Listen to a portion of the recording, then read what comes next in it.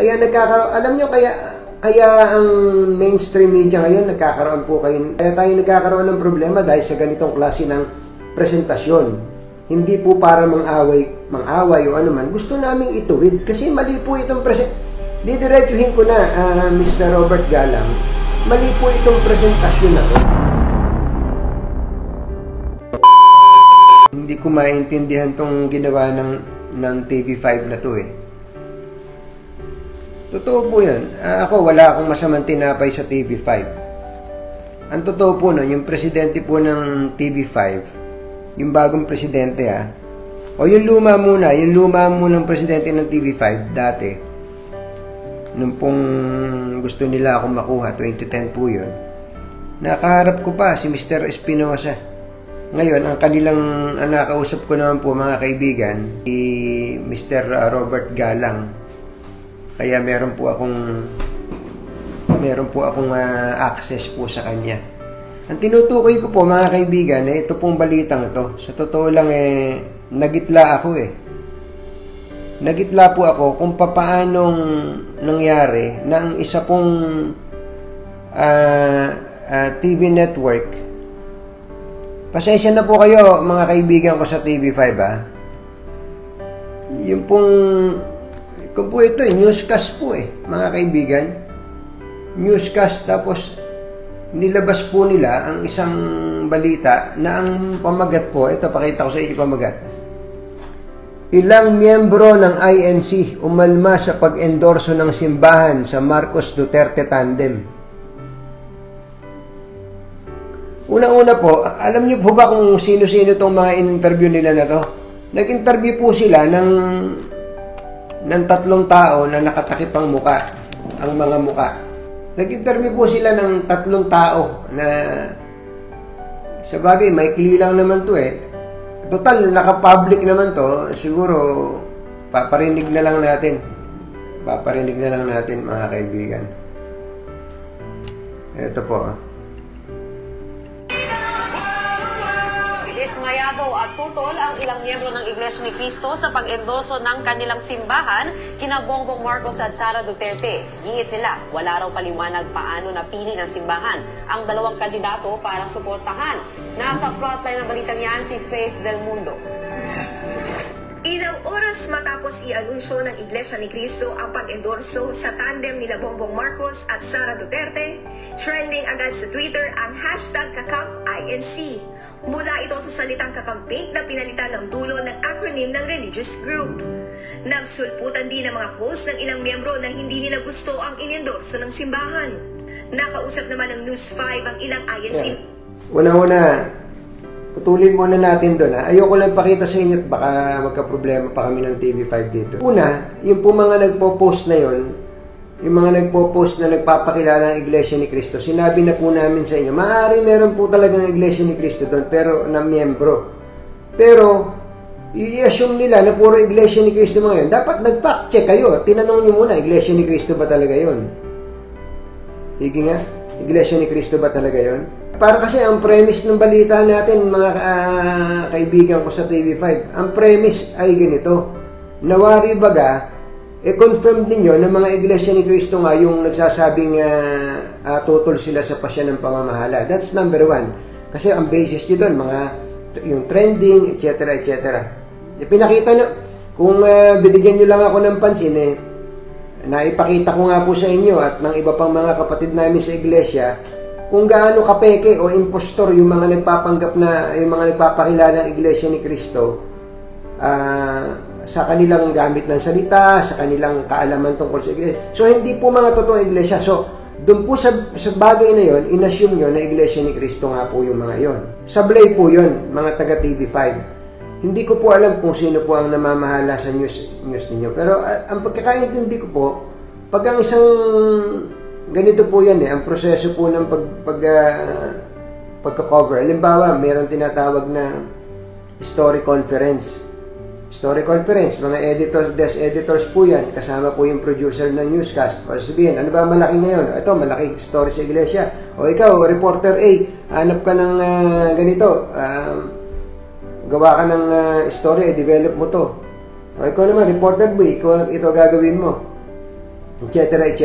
So na-assign po sa reporter marahil na ito, yung pong yung pong tungkol dito sa nag-trending na yan. Okay naman yun kasi ah, meron talagang mga assignment, hindi natin nahasahahad lang ha, na maibalita po kung ano. Pero ang akin lang dito, dapat tama yung balita kasi pagka mali yung balita o kargado yung balita, ang ibig ko po sabihin kargado, may masamang motibo, umpisa pa lang, hindi po hindi po makatutulong sa bayan yung pagkakaroon natin ng newscast. Hindi ba? Kaya nagkakaroon, alam nyo, kaya, kaya ang mainstream media ngayon, nagkakaroon po kayo, well, nasa mainstream media pa naman ako, kaya tayo nagkakaroon ng problema dahil sa ganitong klase ng presentasyon. Okay, tutuloy po natin. So, yun po ang premise niya. Meron daw mga iglesia, ah, di umano, na tumututol sa pasya ng pamamahala ng iglesia. members, pero tumanggi silang magpakilala para sa kanilang kaligtasan at hindi matiwalag sa pagiging membro. Tinan nyo na. Nag-interview po ito. I-summarize ko na po yung yung ginawa nitong si ma'am, yung ma'am reporter. Ang kanila pong ginawa, nag-interview ng tatlong tao. Tatlong tao. Na puro naka, nakakulubong. Nakatalok mo ang mukha. Yung isa, na unang interview niya, currently, Iglesia ni Cristo daw. Ako, pagpapalagay ko na Iglesia ni Cristo nga. Pero yung dalawang in-interview po nila, mga dati na raw Iglesia ni Cristo, eh, ba't magiging source? Paano mo magiging source? And you will attribute, attribute a story to ex, halimbawa nga, ex-members of INC. Pero ang, ang title ninyo ay ilang miyembro ng INC umalma sa pag-endorso ng simbahan sa Marcos Duterte Tandem. Eh dito pa lang sa story na to, tatlong tao in interview nyo, isa ka mo, Iglesia ni Cristo, assuming na Iglesia nga yun. Yung dalawa, non-Iglesia ni Cristo, meaning dati na, pag wala na sa Iglesia, tiwalag na o umalis na o anuman rason, hindi na Iglesia ni Cristo. Ba't yung sasabihin, ilang miyembro na Iglesia ni Cristo umalma sa pag-endorso ng simbahan sa Marcos Tandem? Ano yun? Kaya ang tanong ko po, alam nyo ba, tinanong ko, minessage ko po mga kaibigan, kung, hindi, kung ano man ang kulay ng TV5, wala naman tayong problema doon eh. Pero, mahalaga po kasi sa amin ang, ang amin pong pananampalataya eh, ang Iglesia ni Cristo po. Hindi po para mang-away, mang-away o ano man. Gusto naming ituwid kasi mali po itong present. Didiretsuhin ko na, ah, Mr. Robert Galang, mali po itong presentasyon na to. Sinabi ko na po yung mga dahilan kung ba't mali. Una, ang premise po ninyo ay wari baga eh totoong mga iglesia ni Kristo yung nag-post sa social media, lalo sa Twitter. Pangalawa, nag-interview po kayo ng tatlong taong nakakulubong na hindi nga po natin malalaman kung totoong iglesia ni Kristo. Pangatlo, assuming na sila po ay mga yung na yung isa dun sa in-interview niyo ay iglesia ni Kristo na hindi naman niya maip- ma, mapatunayan yun. Ewan ko kung paano napatunayan sa inyo. Eh, ba't nyo sinabing ilang miyembro na Iglesia ni Cristo? Eh, isa lang yung na-interview nyo na, assuming na Iglesia ni Cristo nga. Yung dalawang in-interview nyo, parehong, kung totoo man, mga dati siya ng Iglesia ni Cristo, eh, ba't nyo sila isasama sa sa headline nyo, ilang miyembro ng Iglesia ni Cristo? Eh, isa nga lang. Eh, grabe naman to eh. Kaya alam nyo, minessage ko po yung, ako kasi, ay, ayoko nga sanang ah pansinin niyo. Ang ito kasi nakita nung nakita ko to, actually nadismaya po ako eh. Ito po ang ginawa nilang sa sa Facebook eh. Dismayado at tutol ang ilang miyembro ng Iglesia ni Cristo sa pag-endorso ng kanil eh, tingnan, uh, Ma'am Faith Del Mundo, Del Mundo, kayo pala yan, ano? Ano, anong basis nitong balita na to, ma'am? Ngayon lang ako nakakita ng ganitong klaseng balita. Nag-generalize kayo, tapos in-interview nyo, iisa, na kung totoo mga iglesia, tapos dalawang ex. Paano yun? Paano mangyayari yun? Eh, hindi naman po siguro, di ba? Di ba? Kumbaga, hindi lulusot yan sa magaling na editor o yung editorial board, editorial team. Eh, lumusot eh. Kaya alam nyo, ginawa ko mga kaibigan, ito pong, ito pong pa na to, ito pong ah, ginawa na ito ng TV5, pinadala ko po ito. Alam nyo kung kanino o pinadala. Pasensya ka na, Mr. Galang. So, ayan po, pinadala ko po kay Mr. Robert Galang yan.